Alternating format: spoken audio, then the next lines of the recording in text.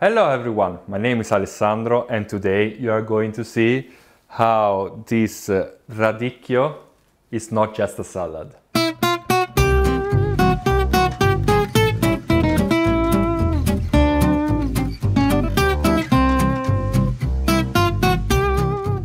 Today we are going to make the risotto al radicchio gorgonzola e salsiccia. This is a typical dish from North Italy. The radicchio gives some extra bitter in this risotto and the, the color is amazing. So all you need is carnaroli rice, two shallot onion, radicchio, one glass of red wine, one salsiccia, gorgonzola, some vegetable stock.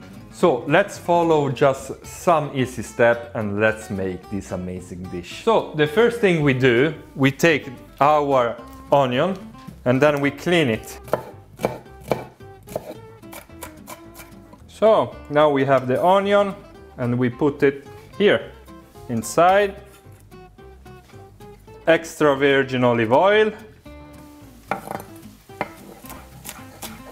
I think this is enough. And inside, yes, let's fry the radicchio with the onion. And we take also the salsiccia now. We remove the salsiccia from the skin. Mm, amazing. The salsiccia will give this extra flavor. If you are a vegetarian, you need only to take away the salsiccia, okay? And then I put the carnaroli like that inside. I leave the rice inside and then I roast it together with all the ingredients. So I'm roasting here, okay? Now it's a time for the red wine.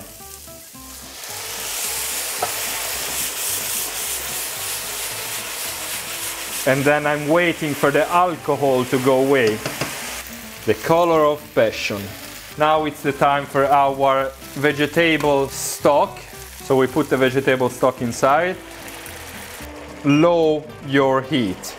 You leave it like that. When you see that the stock has evaporated and the rice has taken all the liquid, then you put a little bit more of stock. You need to let the rice cook for about 20 minutes. Of course, it depends on the rice you bought. Hmm.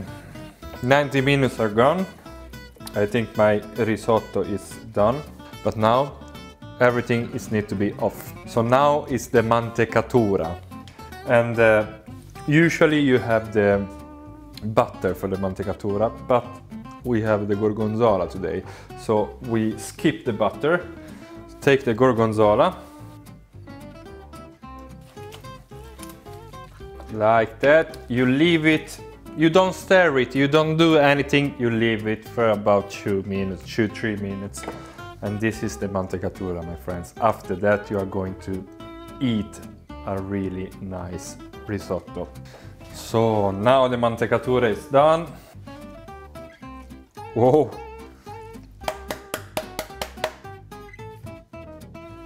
Amici miei, buon appetito!